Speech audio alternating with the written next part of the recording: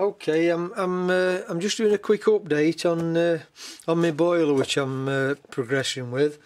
Uh, if you saw my last videos, I shown you how I uh, made uh, my throat plate and my backhead out of some lead, and I did this um, just as a practice, really, to make sure I got all my formers correct, correct sizes, and to make sure everything were going to work out with the offsets.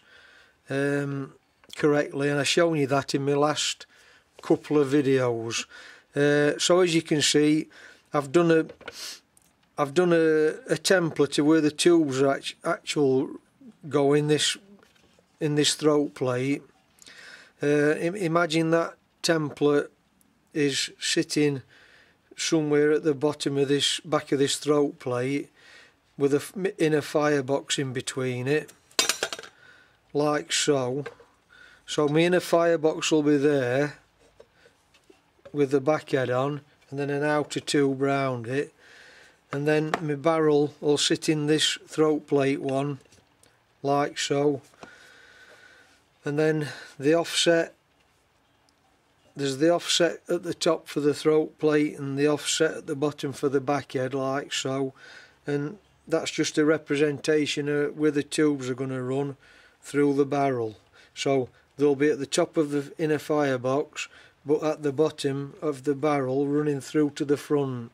So uh, I shown you how I, how I did that on my last video. Um, I've got all my formers made now and I'm, I've managed to get away with using one former as, as I told you in my last video but and by using a set of offset owls to bring me uh, me different offsets correct position and then I use the outside to do the outer flange of this compounded flange. Uh, so I've shown you how I got all my um, all my formers made and how I've done it with lead. I've now managed to get me pieces of copper marked out and I've I've put the different offsets on each piece. For example this is the back head so the the throat plate will have a different offset, uh, not as much as the back head. Um, so I've got them ready for cutting now, and I cut my last my last ones on my scroll saw in my woodworking uh, shed. I'm going to attempt to use my scroll saw to cut these out now. So um, the only other thing I might not have shown you is I've I've now got my former made to make the uh, single flange for the uh, barrel. So that'll be formed around this so it fits into there. And then the same one for me inner fire tube at the other end again which which will sit inside it there. So I've got my former made now for that. So what I'm going to do now then I'm going to go and get this um, attempt at using my scroll saw to cut this out. And then uh, I'll do another update of me when I'm ready for actually putting the flange on uh, with the formers. So okay then I've been in my woodworking shed and I've been on my scroll saw and I've managed to get both my back head and my throat plate cut um, to the different offsets. So I've got my blanks now all cut and ready uh, I've got my pegs set on my former and I've got my, my peg holes drilled in each of my uh, blank flanges uh, for my backhead and my throat plate.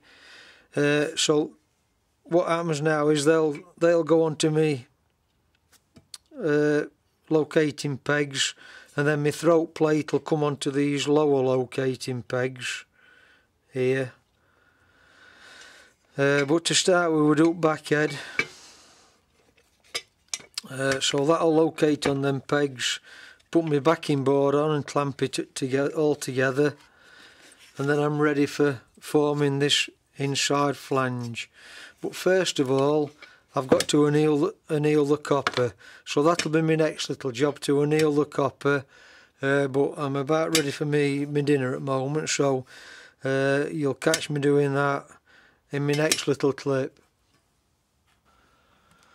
So first thing we've got to do then uh, is anneal this plate and we do that by getting the piece of copper up to a dull reddish colour and then letting it cool either on its own or quench it in a bucket of water.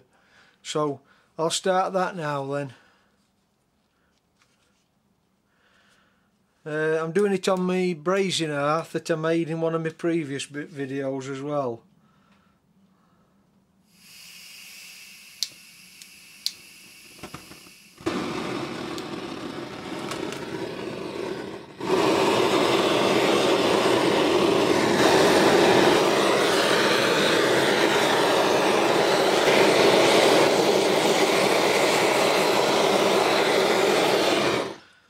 Okay, I'm up to dull red now. You probably can't see it very well on video because it's sunshine shining through the window.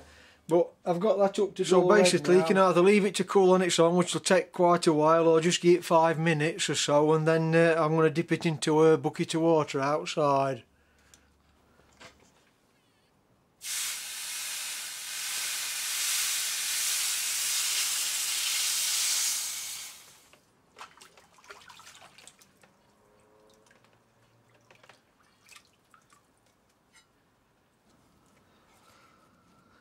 So that's our annealed piece of copper now and that'll be nice and soft to start uh, forming that in a flange on.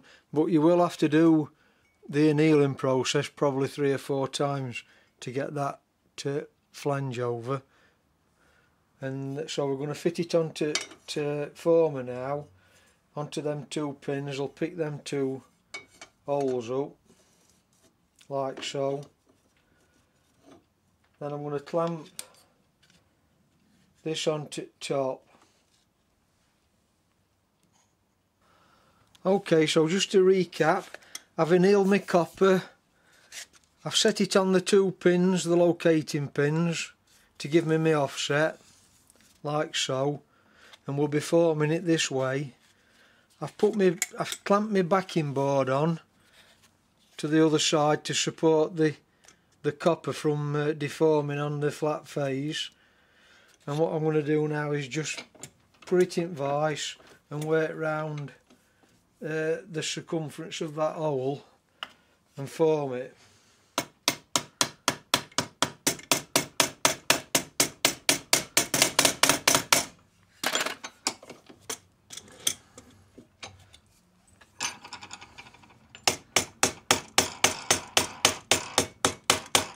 and I'm using a soft nylon faced hammer uh, and I'm just swiping it across across the copper towards the former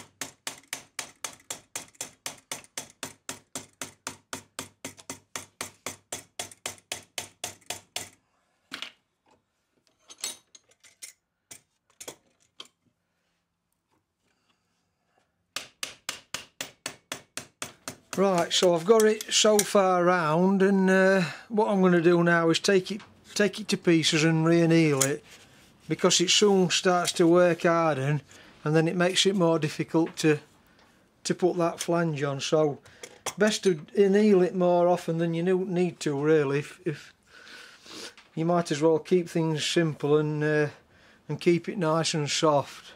So that's what I'm going to do next then. I'm going to anneal the copper again have another session to go around the circumference. Probably anneal it again and then anneal it again and then I should be far shouldn't be far off having it fully formed over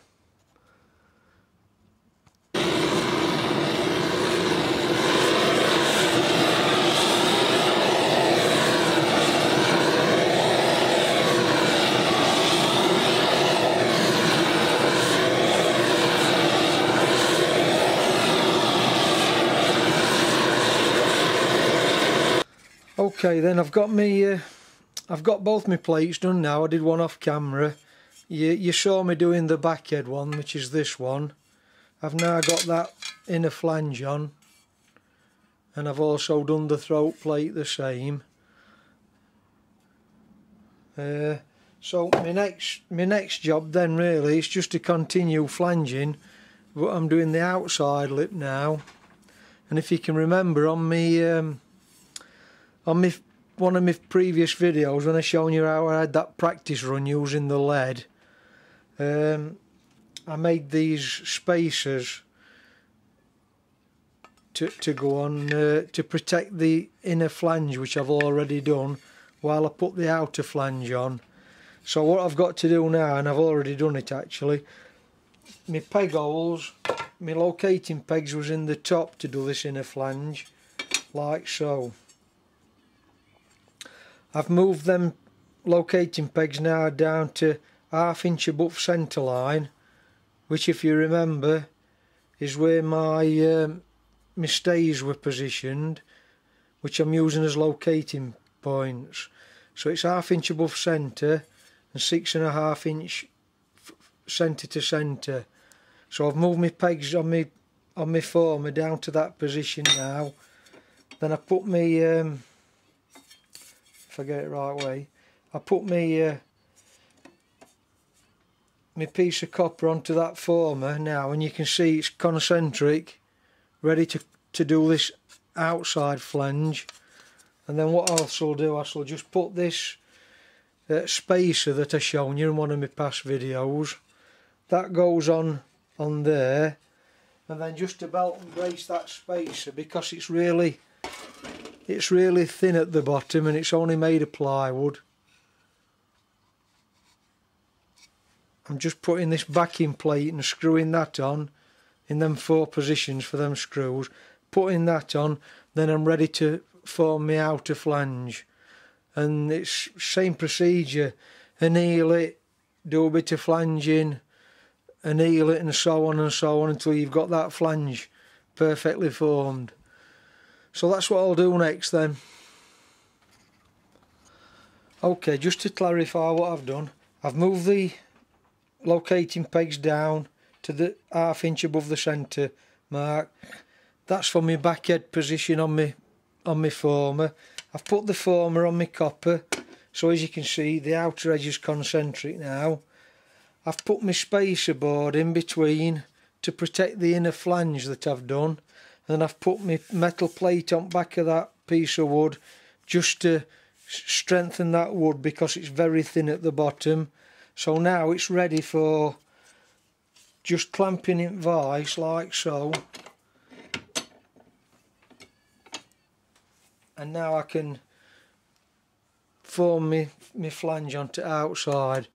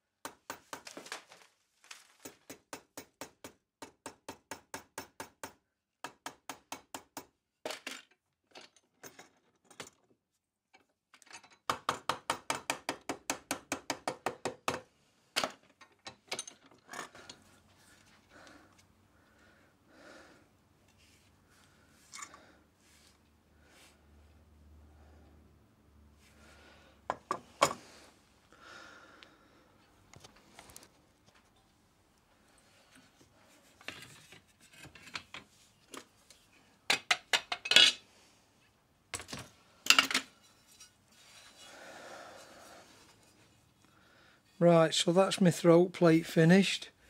I've already done my backhead, as you've seen earlier on. So that's them both complete now.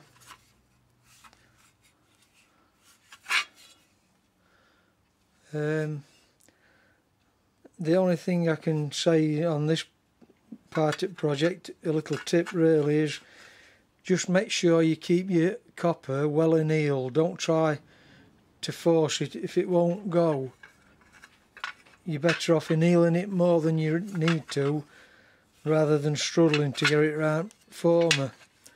So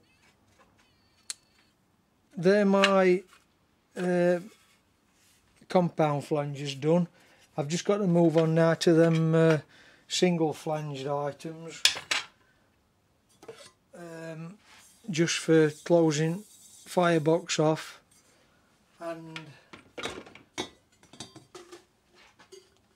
the fire to the fire sorry the barrel. So that'll be my next little part project